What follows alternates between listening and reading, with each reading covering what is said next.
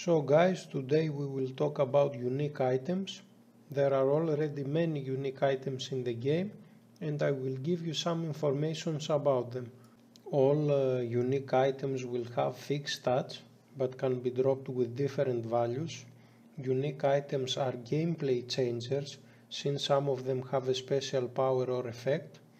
Every unique item is coming with an interesting story to tell so for those who want to learn more about the story of the game can track down some informations and make links between small stories. The first unique item that I will talk about is Saegath's Obsession. It's a unique bow with a special power. The bow gives two additional projectiles and can be used with the skills Phantom Blades and Stings of Krearion. These two skills can take the benefit of the unique special power. The only bad thing that I can say about this unique bow is the low damage, but uh, let's see how it works in the game.